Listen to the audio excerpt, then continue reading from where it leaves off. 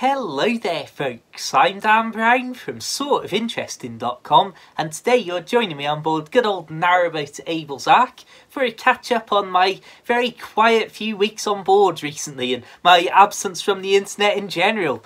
So before we get into proper boat life stuff, I just want to take a moment now to say an absolutely massive thank you to everybody tuning in as this channel has now passed another two ridiculous statistics.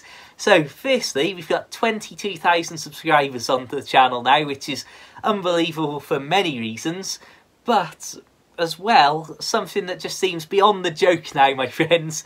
This channel has passed 8 million video views, which is, again, an extraordinary number when you think about it. So, I just want to say a massive thank you, and again, just reiterate I don't think that I do anything special. I don't do anything that's deserving of this level of attention. I just point the camera around at beautiful places and share random moments of day-to-day -day life on a boat with you all. And I'm very grateful and just well, just incredibly humbled that so many of you have joined in and stepped aboard for these little videos and, well, been here for the ride with me. So thank you, my friends. It's just it's just unbelievable. I mean, as I've said in the past, when I look back at all of the years where I would struggle to get a few thousand views in a year, yet alone that many in a day, day after day after day, and be measuring video views to the nearest half a million, just ridiculous. Thank you, my friends. Right then, getting on to boat life and then what on earth I've been up to in all this weird silent period. So basically, as many of you may have seen in recent videos, I went up to the Poacher's Pocket. This is the top end of the Llangollen Canal that we're talking about, and that's where I used to spend Christmas Day and my winter mooring period when I lived on board Narrowboat Tilly. So for Christmas, I woke up there at the Poachers, just like good old times, and it was all very nice. Then over the start of New Year, I moved up to Chirk Bank for a couple of nights, then moved up over Chirk Aqueduct through the tunnel, ended up mooring up by Chirk Marina for a couple of weeks, which is a nice calm bit of canal because even though the tunnel and the aqueduct are only a mile or so downstream, it's people don't tend to walk in that direction too much because the pubs are in the opposite direction from the aqueduct. But Whereas you might get quite a few people having a tootle down or a bike ride along the towpath around the Poacher's Pocket sort of area. Up at Chirk Marina area, it's not quite so convenient. There's not so much draw there. So it's a nice quiet place. And obviously it was quiet in terms of boat traffic because it's the middle of winter. And then on top of that as well, there's been work going on, so the tunnel was closed by Chirk Marina. It's the smaller tunnel, not the famous Chirk tunnel. And also there's work, I think even at this moment, still ongoing up at Pontcysyllte Aqueduct. So there's even fewer boats around than I would expect for this very quiet time of year. So it's a beautiful place to just moor up and really enjoy some proper peace and quiet. I'm just going to have a fiddle around with the fire as it's extremely warm on the side of my leg here. So as some of you may know, I stand right next to the fire here to do these uh, videos. Right, I'll be back in a second. So that's it then really for this video. Boat life was nice and calm for a couple of weeks and now I've been back on the move, boating around and it's all good. Hang on a minute. Now, I've been noticeably absent, or noticeably to some of you, uh, from the internet in recent times. Probably a lot of you are thinking, didn't even know you'd gone, mate. Nobody cares. Um, so, for any new subscribers, I just want to say this isn't normally how these boat life videos would go, but just want to say a few things at this point, just just because I think sometimes it's good to just, well, I don't know, share things with you. So, as you may have noticed, I've gone from doing three videos a week for the last few months to almost nothing. And even the videos I've posted in recent times, apart from the audiobook episode, were old videos that I had recorded from ages ago. So basically, after doing months of three videos a week, I just totally and utterly ran out of steam as firstly, you've got to think the sheer amount of work involved in doing three videos a week, where you're obviously recording about a million takes to camera and uh, voiceovers before you get one that you like. Then you're running around trying to get new footage to go with the videos. Then also for the things like Boat Life Basics videos, literally going through thousands of clips of Narrowboat Tilly to get footage for that. And then obviously putting it all together and editing and all that sort of stuff just that constant sort of oh got to get the next video. Sunday Monday uh, Sunday Tuesday Thursday Sunday Thursday Tuesday whichever way around the days in the week go these days. And basically after a couple of months of that I was doing a video and I did about 15 takes to camera before I got a final version that I actually liked. And I sat down on the sofa just to my side to start editing it and adding in the boat life footage and stuff. And I just thought you know what, I still don't like this video. And it just hit me like a brick wall, I've got to be honest. It, it just literally, I was just like, I just can't do this. I just can't do this. And that's where I literally just have had these couple of weeks off where I've done almost nothing productive in terms of uh, progressing the YouTube channel or even making videos of any description really even this video has taken me multiple takes on multiple days and who knows how, how long this take will go. I've sat, uh, stood right in front of a very warm fire which isn't helping I'll be honest.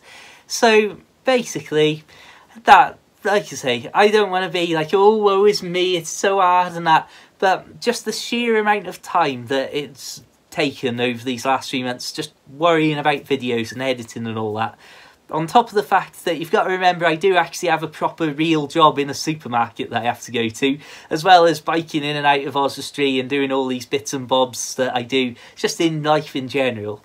And then um, again, things like working on the book and the audiobook, you can imagine how long it takes me to do uh, every three seconds recording the audiobook. I'm like, oh, I don't like that. I'll re I'll re-record that one word, and then going back and finding something there I've said. I mean, even in the latest audiobook episode, on hearing back the uploaded version, there's at least one mistake that's absolutely driving me mad that I left it in there. Obviously, not realizing at the time. So yeah, like I say, it's just that constant sort of just I just needed to break basically. And again, I think anything like that where you've got to try and think up ideas and put them together and stuff it's it there's a certain point that you've just got to take a step back and be like let's just rest.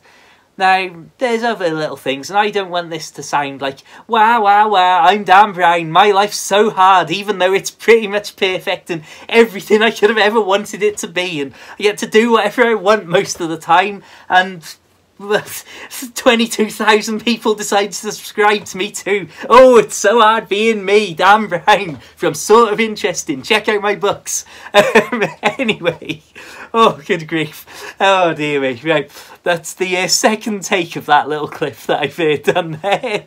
Right then, serious note. And as much as I know this might sound like I'm like being a big baby and all that stuff, there's like other things that have gone on. Like, I mean, first thing, again, dangerous topic. I never normally talk about these sorts of things on camera, but amateur psychologists out there may be keen to analyse the fact that starting this mad run of three videos a week endlessly for months on end literally happened in the immediate aftermath of me splitting up with a lady I was seeing at the time. And again, I think when you just finally just run out of steam, sit down and have time to think on these barren, empty winter canals, you're like, oh, flipping heck, I've been just stop thinking.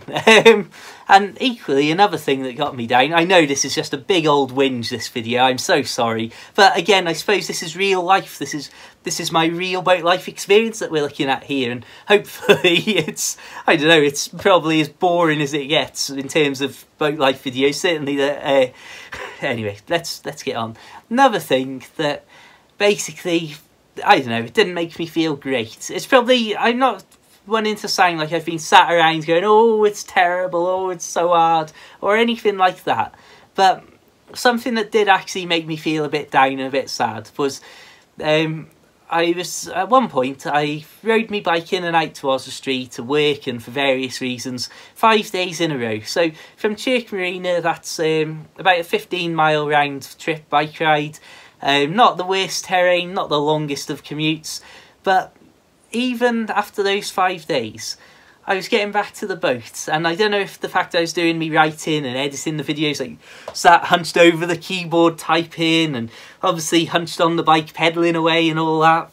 But basically, at the end of only five days, my back was hurting and playing up, and I was like, flipping heck, and I don't know, it just got to me really. And some of you may know that when I lived for a brief time on dry land between my boats, two years, a bit more than a brief time that I tried to pass it off as there, but basically, I uh, I tried a, a hundred day, fifteen miles a day bike ride challenge, where you know that's exactly what it sounds like, and I only made it to twenty something days because my back was just hurting too much, and it was just absolutely killing me. And I think part of that was working on me model railway and stuff. So again, being sat at my desk and all that, but people may know if you've tuned in since the Narrowboat Tilly era that I always used to talk about having little walks in the morning, the afternoon, the evening, just to get some motion and to stretch out me poor back and all the rest of it so that I didn't get these back pains. And it, it just got to me that that thing, after I've lived such an active life for so long, and literally five days of barely any bike riding was enough to literally get me noticeably in pain when I'm like moving around and lying down in bed and thinking, flipping heck, I'm getting old. Another side note here, doesn't make me feel great, but I've got plenty of grey hairs starting to all come through now. Oh, it's terrible. Oh, it's the end of life as we know it. Um, so again, I think that that didn't, it didn't, it, in the situation of being like I've hit a brick wall with doing the YouTube stuff, it it didn't it didn't I, what I don't know what I'm even trying to say you know it didn't make me feel any better um so yeah, I mean, an another random thing here, just something more recently in the last few days. Um, and again, I don't mean I'm not trying to say anything negative here about this this person. I'm I'm quite grateful and appreciate the thought. But somebody posted uh, from the production company or something on Facebook about wanting somebody who lived on a narrowboat to be on uh, test out some gadgets for the gadget show on Channel Five, something like that.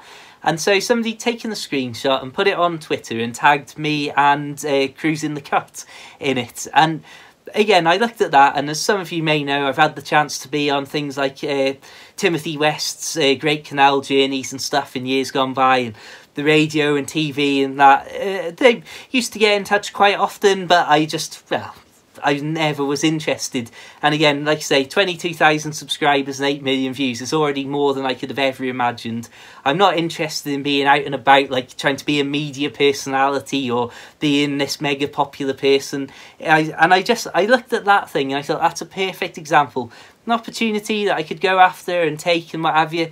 But I genuinely feel that I'm more likely to completely disappear and give up YouTube and go and work a normal job full time and stuff and live on dry land and not have anything to do with the internet really, like I have done over the last few years. I'm as likely or more likely to do that than I am to start running around on telly because just like in the Timothy West days, it's it's just not me. And again, amazing opportunities or not and very grateful I am to have had so many of them over the years and I know that there's people who would tear their hair out saying you could be massive, you could do this, you could do that just doesn't really interest me. It's like I don't have any sort of desire to be like walking down the street and having people know who I am or anything like that. It's it's a, a fascinating experience at this level where there's people on the canal and stuff that occasionally will bump into me and know who I am, and people who come into my place of work and literally take photos of me, which is very amusing to some of my colleagues and less so to others, I'm sure.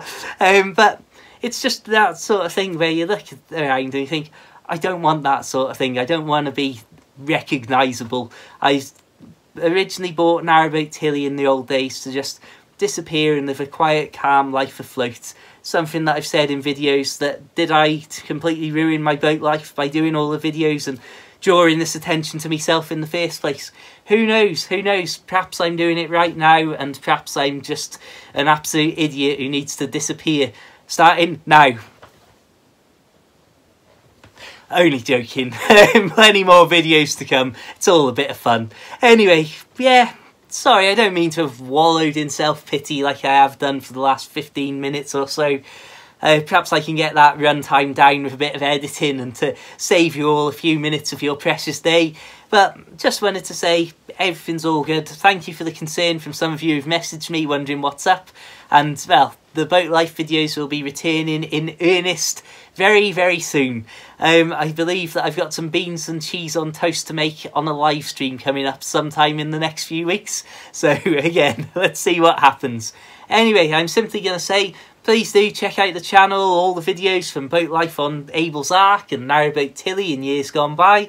Feel free to add me on Facebook and Twitter, blah blah blah. Please do consider checking out my short boat life books available for the Kindle as an audiobook and as a paperback collection. And if you're really curious or really want to help me out, please consider checking out my Patreon, which is set up to support the free audiobook that I'm creating over the next few months. So thank you for those of you who have supported me there. It really does mean a lot, really helps out, especially because obviously I'm missing out on loads of book sales by releasing it free as an audiobook.